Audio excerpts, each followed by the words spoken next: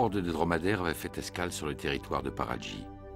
Artou et le chef s'y étaient sentis bien, et les nomades, en attendant un prochain départ, avaient repris une vie ordinaire. Tout avait changé dans la vie de Paraji le dingo. Une femelle dominatrice, Kira, s'était imposée à lui accompagnée de ses deux enfants. Le groupe vivait désormais sous sa loi. Un colosse roux, Ngama, était arrivé dans le clan de Burka, gâchant en quelques heures tous les espoirs qu'avait le jeune Kudla de séduire Cartania. Ngama était devenu le chef de famille. Au nord, dans le bosquet des chauves-souris, El Troué la Roussette avait donné naissance à un petit. Tout cela, Paradji le projetait sur le dôme du rêve, car il en est ainsi. Nous entrons dans la vie quand notre rêve commence.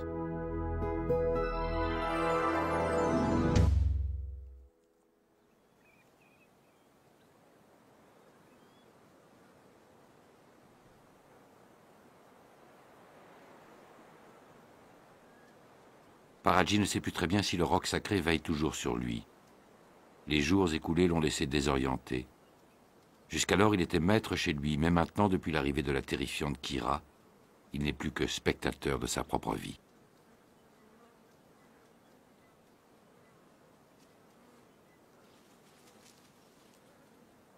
Les enfants de Kira, Marty et Quiri, jouent sans gêne sous ses yeux sans le craindre, ni se soucier de lui.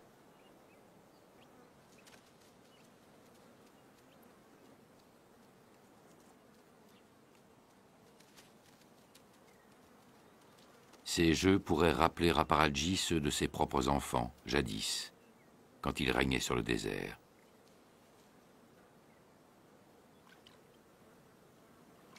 Kouiri, la petite femelle, est aussi curieuse, excitée par l'étrangeté du monde et rusée que l'était Waka.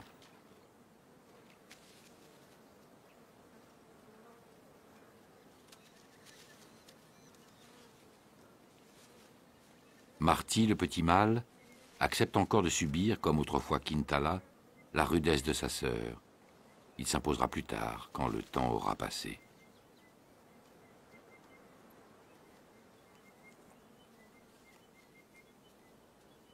En prévision des temps nouveaux et pour que nul ne l'ignore, Kira a fixé d'emblée l'ordre des préséances. Elle devant et les autres derrière.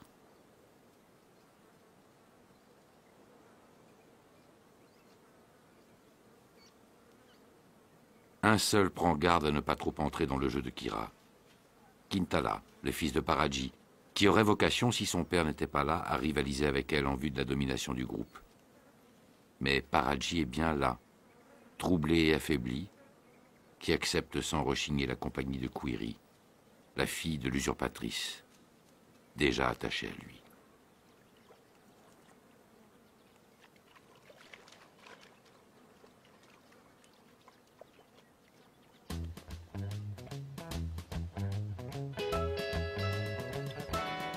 En dépit des incertitudes, Waka et Quintala prennent plaisir à jouer avec leurs cadets nouveaux venus, Marty et Quiri, sur la plaine assez vaste pour tous.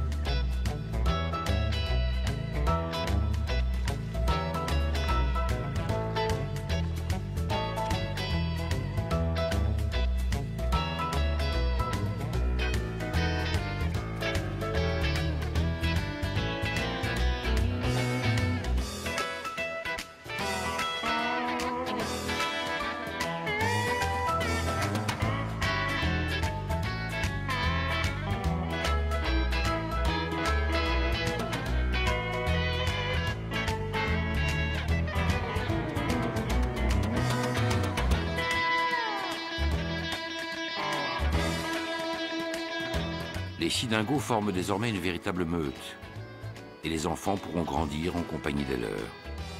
C'est ainsi, en société, par le jeu et l'affrontement permanent, que se forgera leur caractère.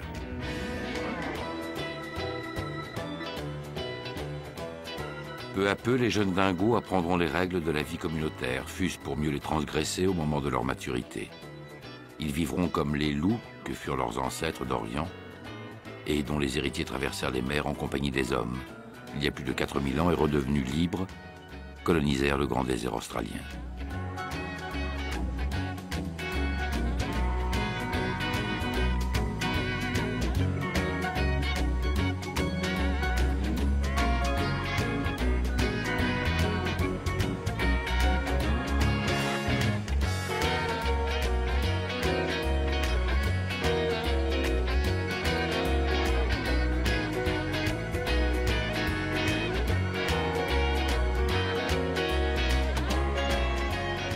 Kira et Paraji se mêlent aux festivités.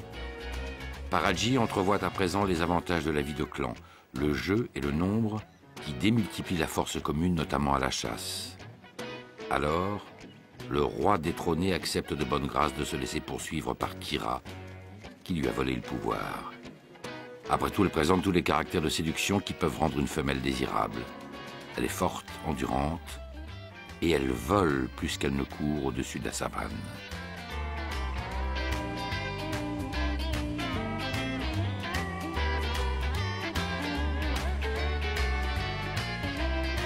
Son côté, Kira voit bien, en rejoignant ses enfants, Kouiri et Marty, qu'elle a trouvé pour eux les meilleurs compagnons et le territoire idéal.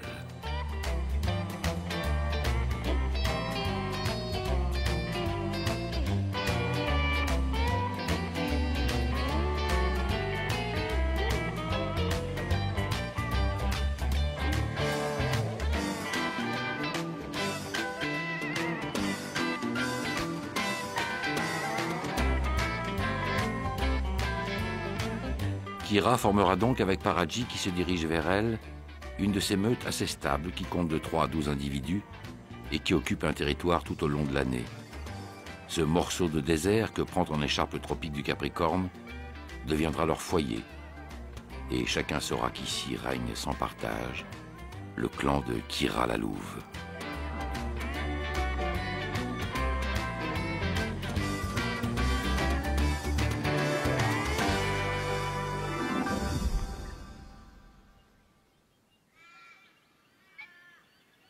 Au sud, sur l'île des kangourous ouverte à tous les vents de l'océan, Cartania, le kangourou gris, donne la tétée à son fils Pogo. Ngama, le géant récemment arrivé dans les parages, la sollicite par de petits claquements de langue.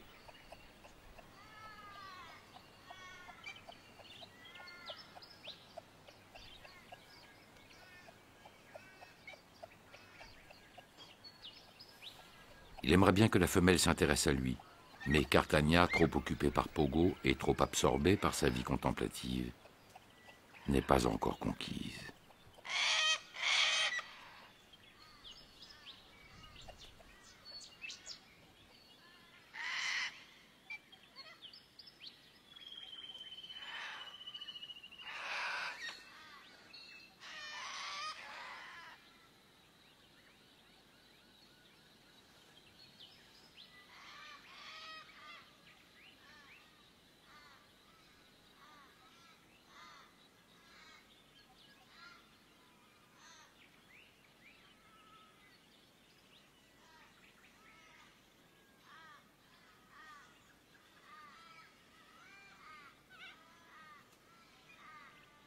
Gamma prendra son mal en patience, comme il accepte sans broncher la présence d'un oiseau sucrier sur son dos.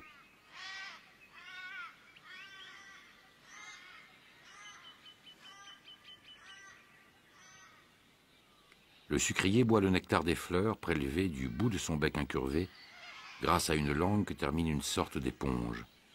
Mais on ne peut se nourrir que de sucre. Le sucrier doit donc picorer des insectes qu'il trouve parfois sur le dos d'un mammifère, Chacun y trouve son compte. Le premier s'alimente, le second se déparasite.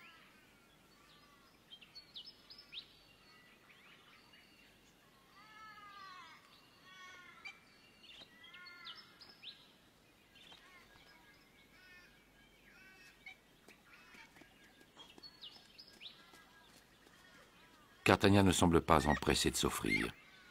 Ngama sait qu'il lui faudra du temps et qu'il ne doit pas la brusquer.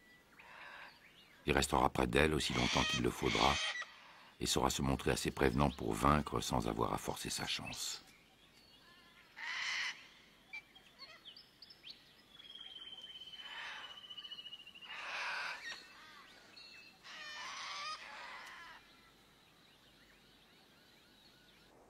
Un trou au milieu du désert. C'est un terrier, celui d'où est sorti pour se battre le redoutable serpent brun.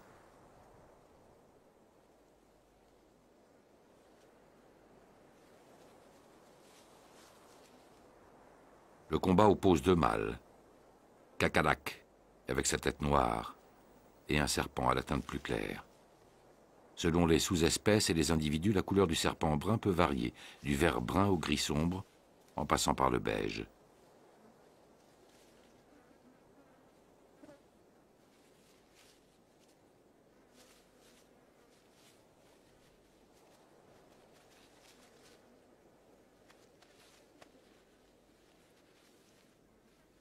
Le serpent brun est à la fois l'un des plus rapides d'Australie, l'un des plus agressifs, et l'un de ceux dont le venin neurotoxique est le plus concentré. La plupart des combats opposent des mâles rivaux à la saison des amours.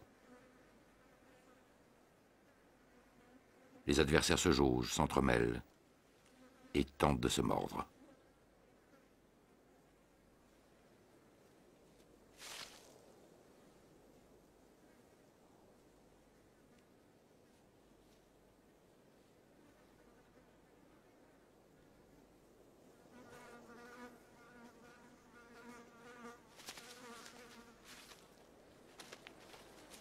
Kakalak a tenté de prendre l'avantage, mais son ennemi s'est trop vite rebellé. C'est ce dernier à présent qui passe à l'offensive et gagne la bataille.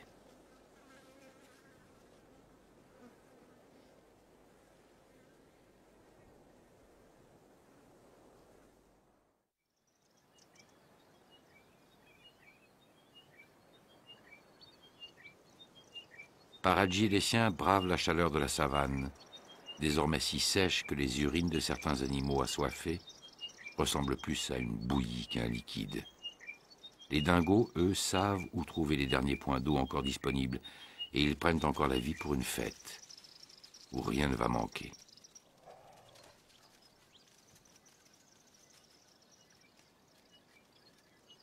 Kouiri, la fille de Kira, éprouve envers Paradji un tel engouement qu'elle ne le laisse plus un seul instant.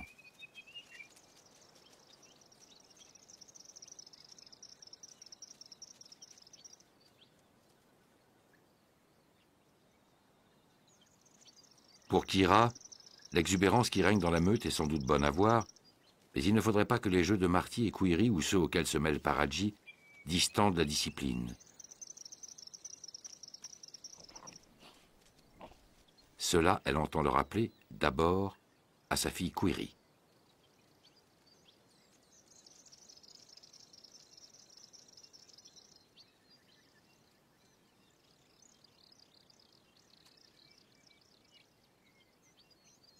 Paradji le second à qui Kira décide de s'en prendre. Mais là, une mauvaise surprise l'attend. Paradji, lassé d'avoir subi trop de mortifications, se rebelle et l'agresse.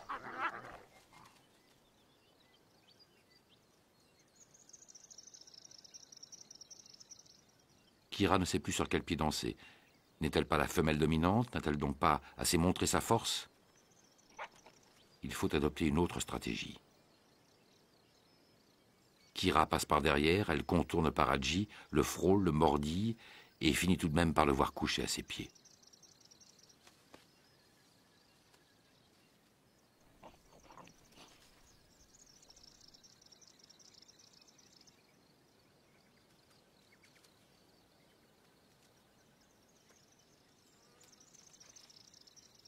C'est Query à présent qui donne du fil à retordre à sa mère.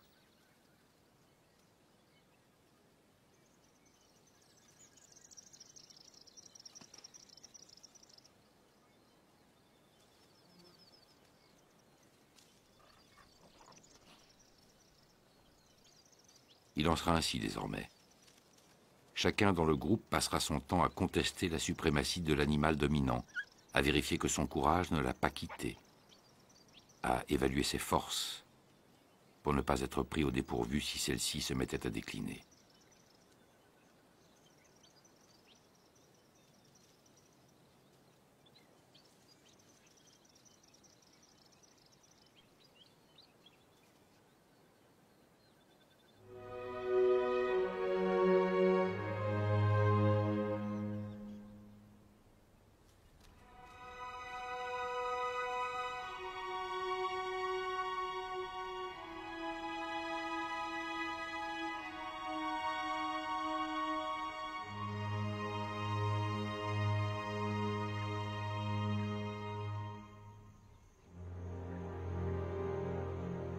Journée s'achève, Kira est toujours souveraine. Elle le sera encore le jour suivant et celui d'après. Jusqu'à l'instant où l'un de ses propres enfants, peut-être, la condamnera à l'exil.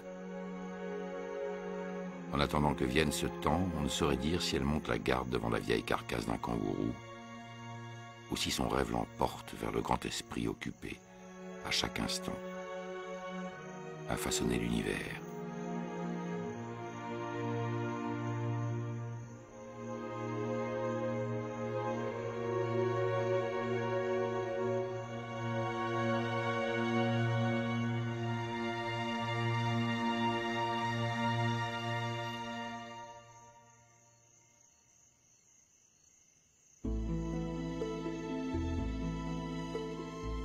Quand la lune est assez haute dans le ciel nocturne, un petit marsupial sort de son nid ou de l'abri qu'il s'est creusé dans un arbre mort.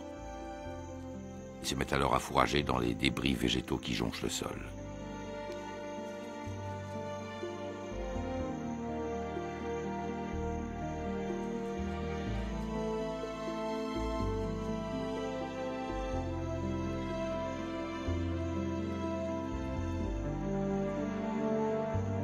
Vrai dire, malgré sa taille, le rat kangourou a plus de points communs avec le kangourou qu'avec un rongeur. De grands pieds longs qui lui permettent de sauter, de petits bras et une poche ouverte chez lui vers l'arrière.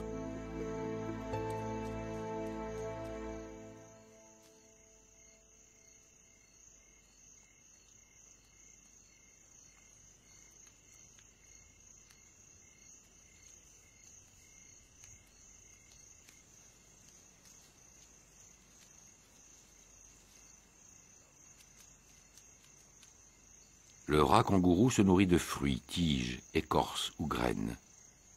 Il fait partie des animaux jardiniers qui contribuent à entretenir la végétation. En particulier, ses excréments sont riches en spores, c'est-à-dire en germes, de certaines truffes utiles aux racines des arbres. En les dispersant, il enrichit sans cesse son propre environnement.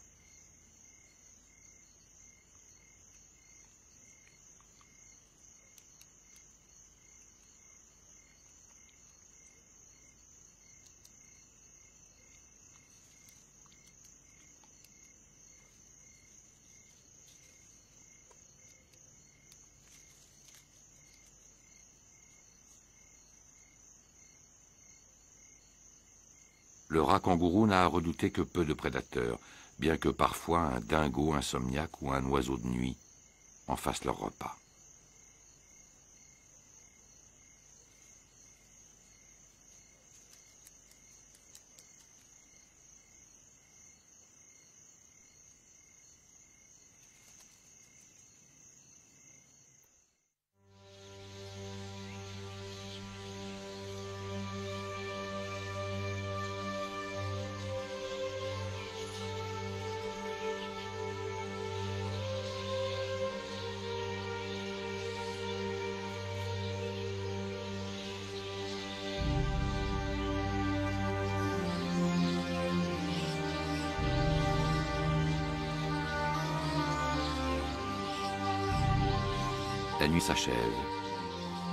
Alors que les roussettes reviennent se pendre à leurs branches.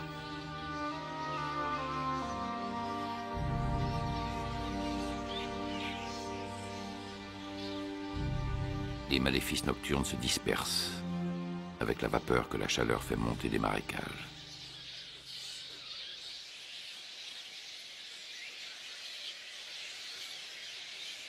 L'urette d'Australie s'éveille quand ses voisines se préparent à dormir.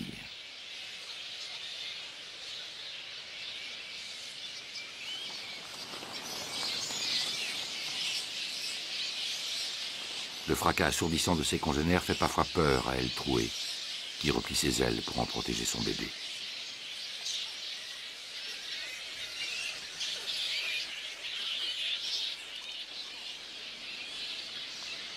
Chacun adopte pour dormir sa position préférée, la toile d'araignée, le pendentif ou la grappe.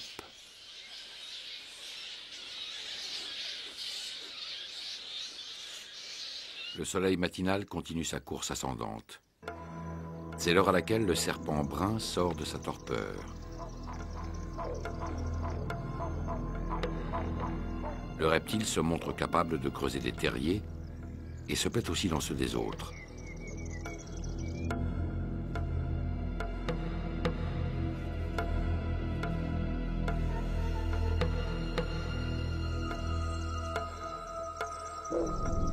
À présent désengourdi, il envahit le nid souterrain d'un rat, sa proie favorite, prise au piège de son propre cul-de-sac.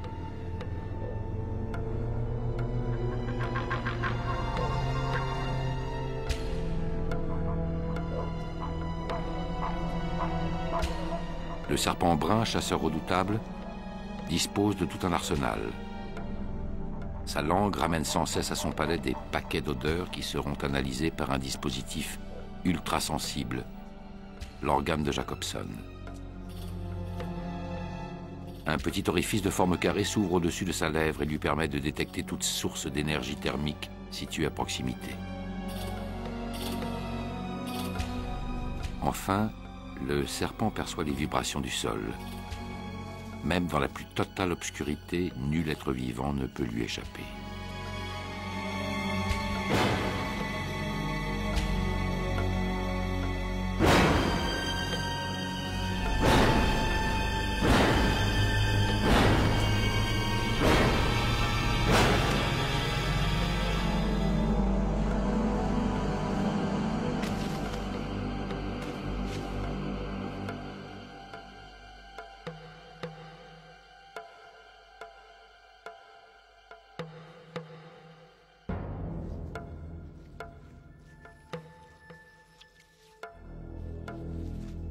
Mordu, puis étouffé contre la paroi afin que la mort vienne plus vite. Le rat est maintenant avalé. Les deux mâchoires du serpent peuvent se désolidariser pour laisser passer des proies plus grosses que sa bouche.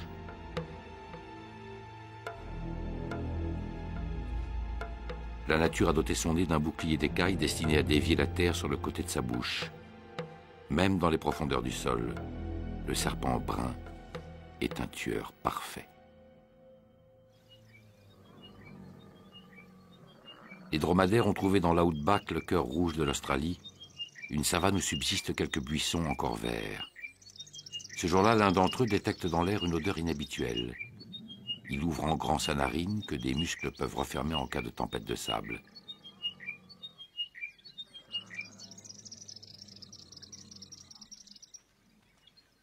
Oui, c'est bien un étranger qui approche, un mâle, à l'allure si piteuse et la démarche si bancale qu'on pourrait l'appeler Akun, le malheureux. La sentinelle se situe juste après Artway, dans la hiérarchie du groupe. Des aborigènes le nommeraient Irk, terme par lequel il désigne un policier, un flic. Akun souffre d'un déchaussement de la semelle du pied. Les dromadaires marchent non pas sur la pointe de leur troisième doigt, revêtu d'un sabot, comme les autres ongulés, mais sur la plante des deuxième et troisième phalanges, revêtu d'un épais coussin élastique. C'est ce large coussin qui s'est désolidarisé du pied.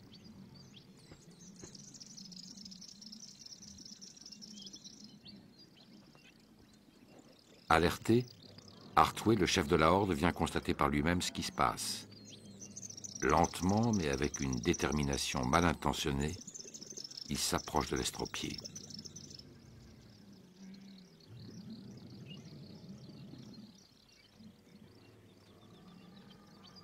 Akun se rend vite compte qu'il a frappé à la mauvaise porte. Irk et Artway lui indiquent à leur manière qu'il ne recevra d'eux aucun secours.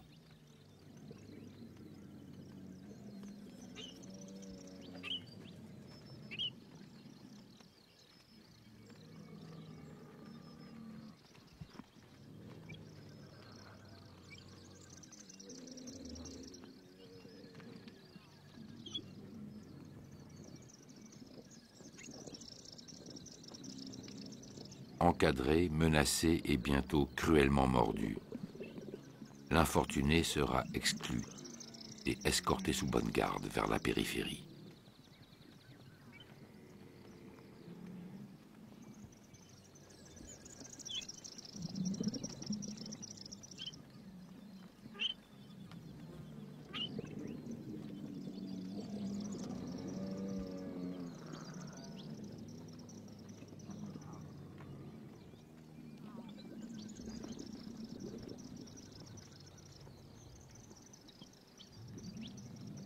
La disgrâce dont souffre Akun est de celle dont on meurt. En effet, le coussinet plantaire du dromadaire, souple et surtout très large, lui permet de marcher sans s'enfoncer sur les surfaces sableuses. Sans lui, l'animal repose directement sur les phalanges, ne peut plus se déplacer normalement et court le risque de dépérir.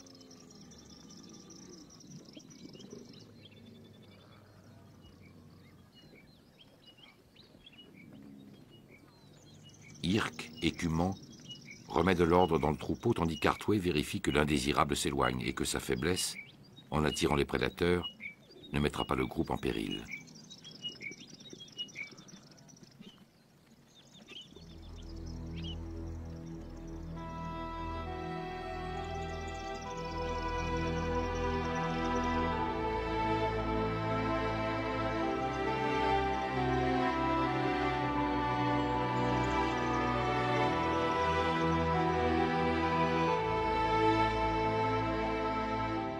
S'en va. Son corps gîte comme un navire. C'est le début de son naufrage.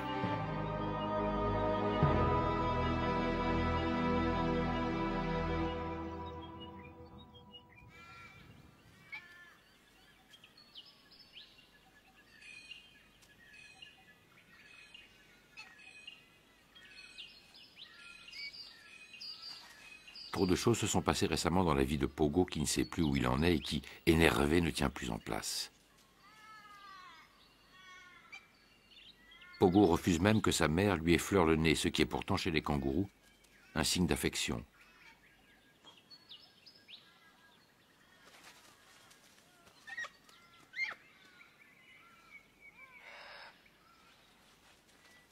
Kudla d'abord le rend nerveux.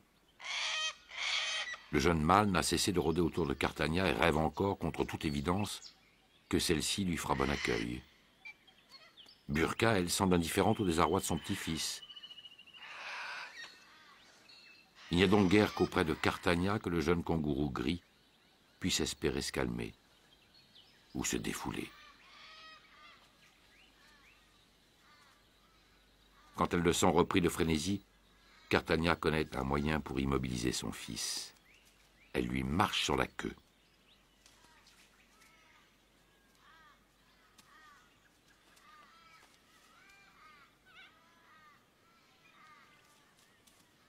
Cartagna en reste pantoise.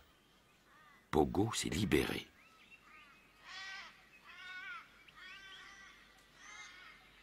Au bout de quelques secondes, le voilà déjà revenu, attiré par le meilleur des calmants, le lait maternel.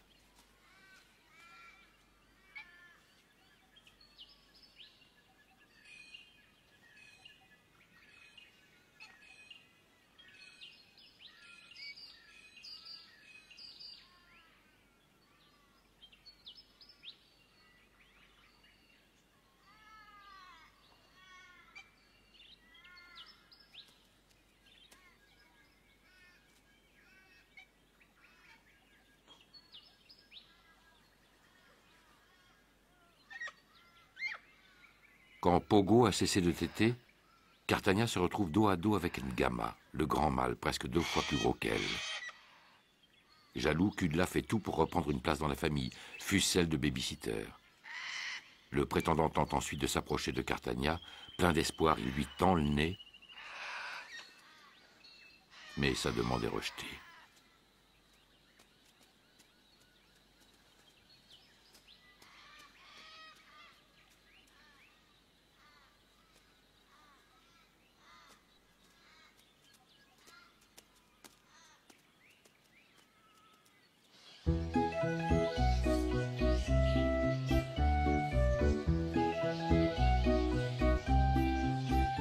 Bosquet des Roussettes est idéalement situé au-dessus d'une mangrove dont les eaux libèrent sans cesse des insectes parasites et assoiffés de sang. Il semble que tout ce qui chatouille, grouille et gratte vienne y faire éclore des rejetons.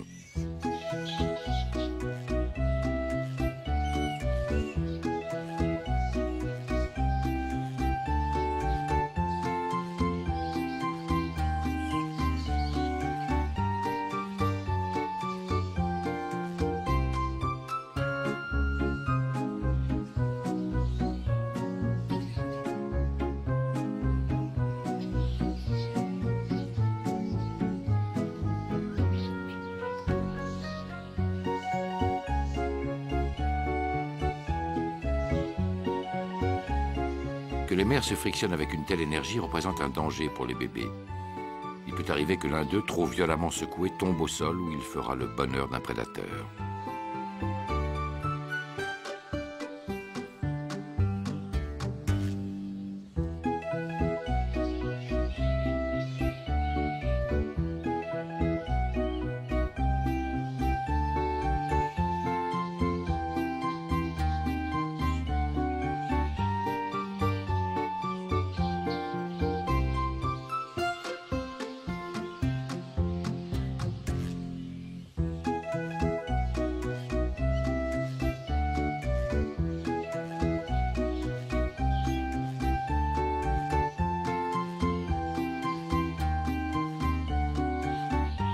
Elle trouait ses trilles avec la même vigueur que les autres, et son bébé désespéré, cramponné à son corps, attend que passe la tempête.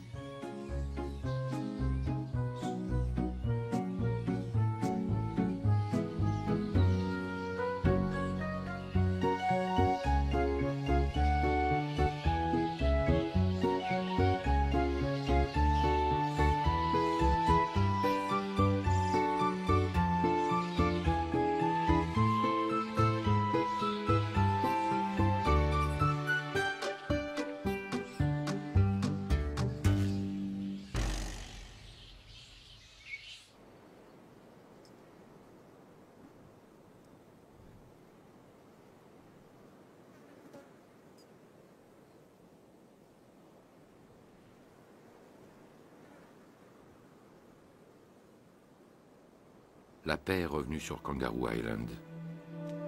Et Pogo s'est calmé. Ces derniers jours, il a perdu ses points de repère. Trop de mâles rivaux acharnés à séduire sa mère ont perturbé l'intimité si nécessaire de sa relation avec Cartania.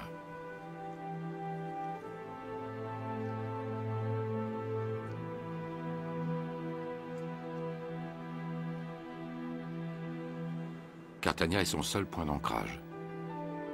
Il a vécu dans la poche pendant plus de dix mois et dépendra d'elle pendant un an au moins. Ils forment un vrai couple, plus fort et plus durable que ceux qui unissent un mâle à une femelle.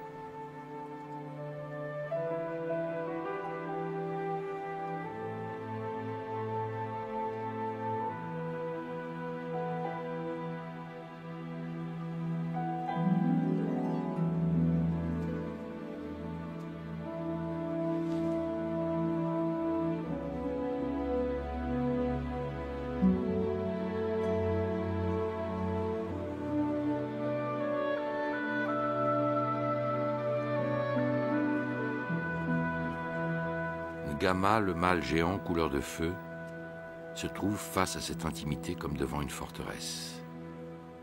Quelle que soit sa force, il ne sait comment franchir l'obstacle si ténu de cette tendresse qui semble exclure et repousser le reste du monde.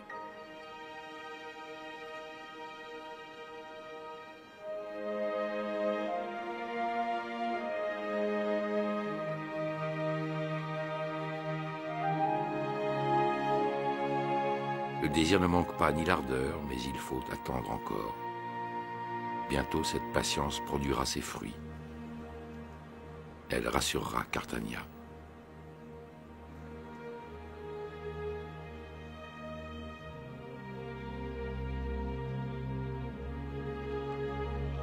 Et quand la femelle sera mieux disposée, elle le choisira pour père d'un bébé susceptible de devenir un jour, lui aussi, un mâle géant couleur de feu.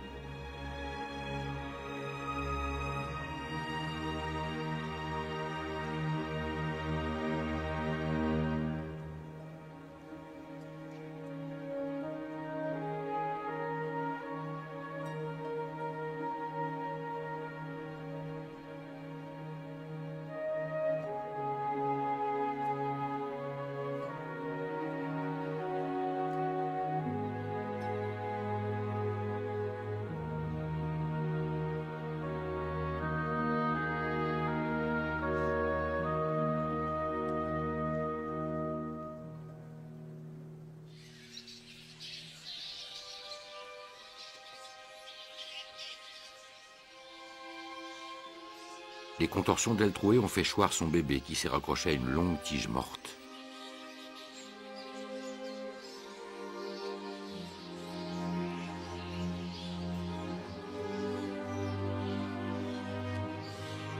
La petite roussette fait des efforts désespérés pour se maintenir fixée sur son support. Mais à chaque fois qu'elle l'étreint, elle déchire sa peau aux épines de la tige, se fatigue davantage et descend un peu plus.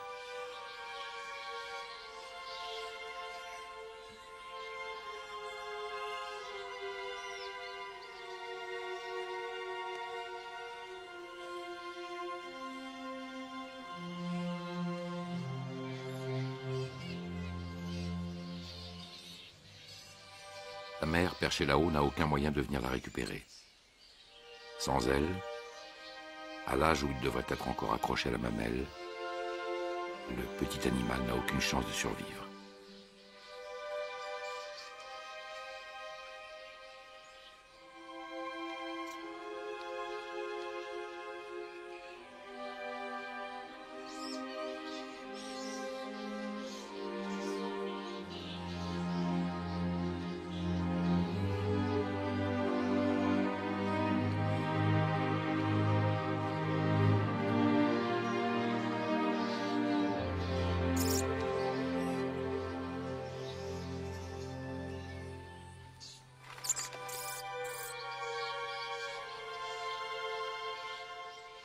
Chacun pense les hommes vrais, c'est-à-dire les aborigènes, ne fait que rêver sa vie, laquelle dure jusqu'à ce que se termine le songe.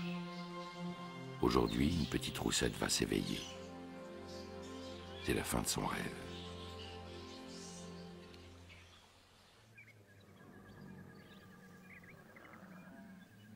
Les jeunes dromadaires mâles ne perdent pas une occasion de mimer les rituels de l'agression en prévision du temps où il leur faudra se battre vraiment.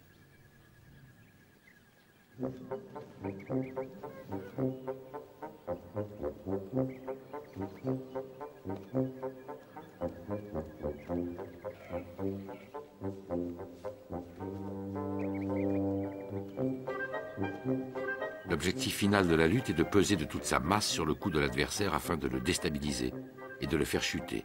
Mais si l'on a mal évalué son propre poids, on peut se retrouver à des hauteurs qu'on n'avait pas cherché à atteindre.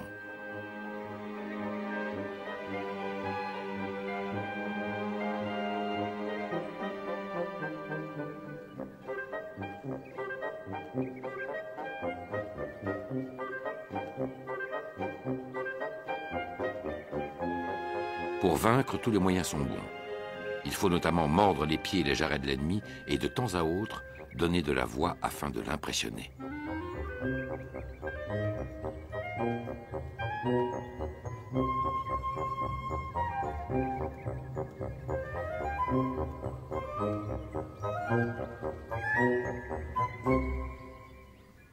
En principe, celui dont la tête dépasse celle des autres marque son avantage.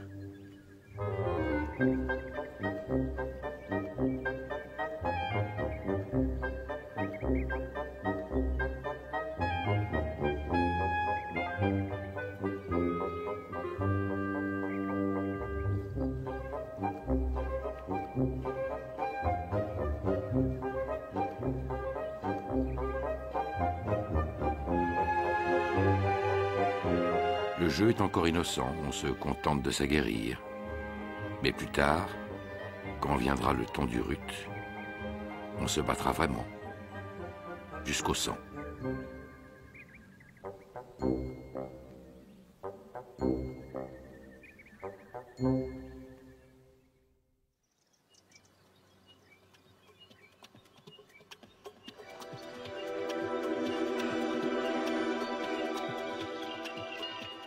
D'Australie survole la plaine couleur de filasse, où chaque végétal se rétracte sur lui-même sous l'effet de la sécheresse.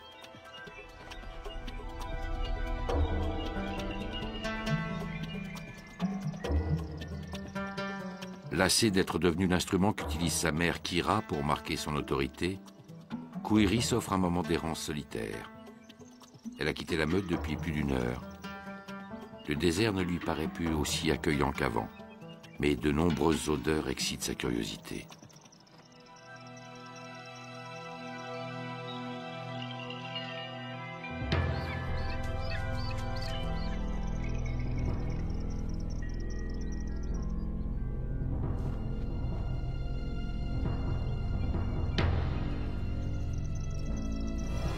La petite femelle n'aime pas qu'une ombre court derrière elle. Son instinct lui dit qu'il faut la fuir.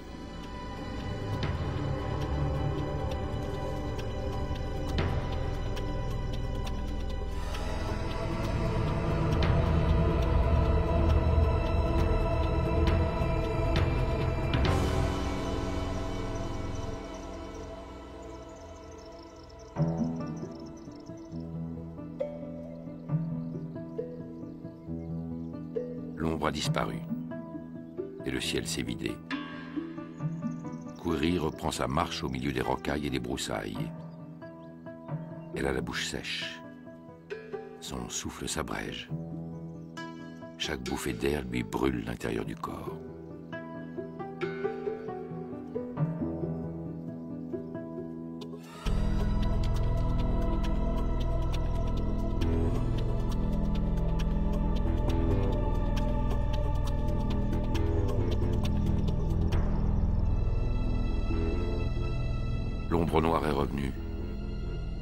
Meilleur moyen de fuir la menace serait peut-être de s'enfoncer sous terre, où se sont sans doute réfugiés la vie et la fraîcheur.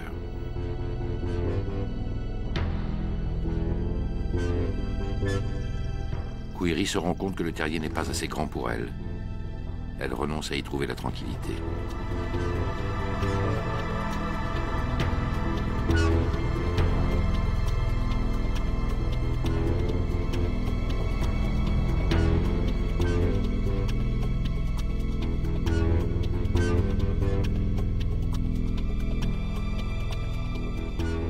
Avec un corps d'un mètre de long et une envergure qui dépasse 2 mètres 30, l'aigle se sent de taille à épuiser un petit dingo et peut-être à le déchirer de ses serres. D'autres mammifères, en particulier de jeunes wallabies, figurent à son tableau de chasse auprès de serpents et d'oiseaux.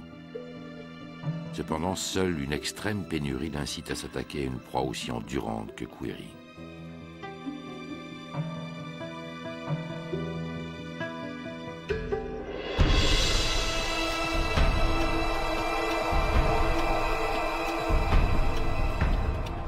Épuisé. L'aigle se prépare à l'attaque.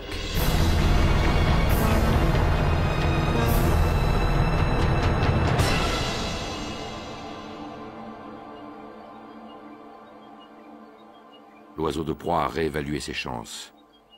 L'effort à accomplir pour tuer la jeune femelle était trop lourd pour lui.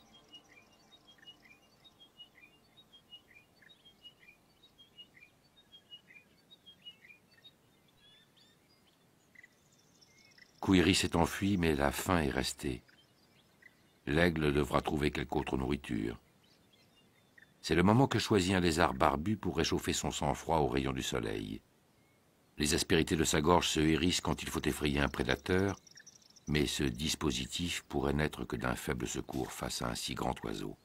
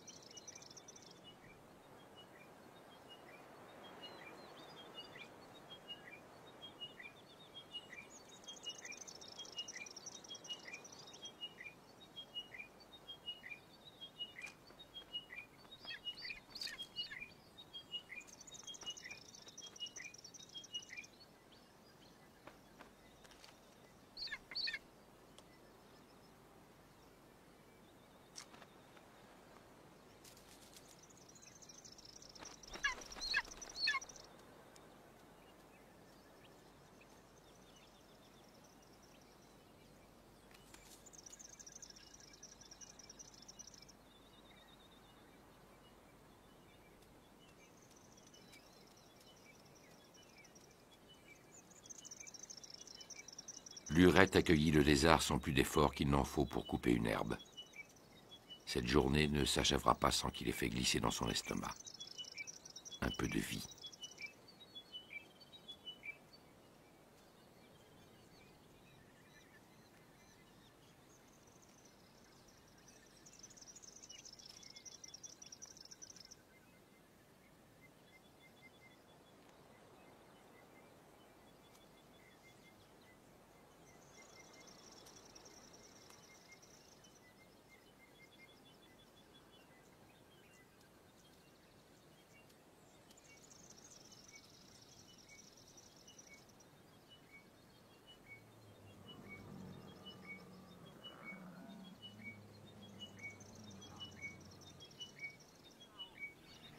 La horde des dromadaires regroupe principalement autour de l'étalon Artoué des femelles accompagnées de leurs petits et quelques jeunes mâles de second rang.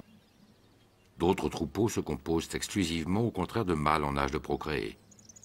Enfin, de vieux étalons exclus par un rival plus fort errent en marge de ces communautés.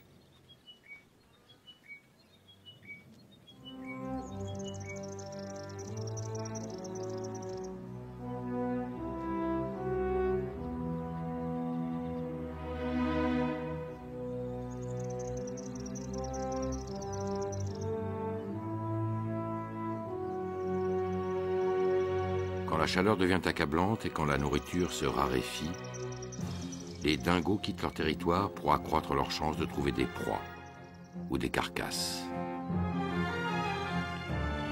En l'absence d'Artway qui s'est éloigné, il revient aux jeunes mâles les plus forts de protéger le groupe.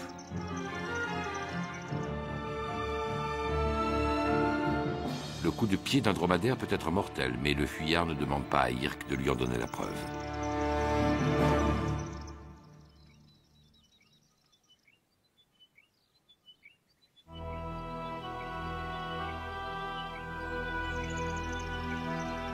Peut-être le dingo noir se vengera-t-il sur la carcasse d'un autre dromadaire. Celui-ci était blessé et suppliait que ses frères lui fissent une place. À présent, il est mort, car le désert ne prend pas en pitié ceux qui ne peuvent lui résister.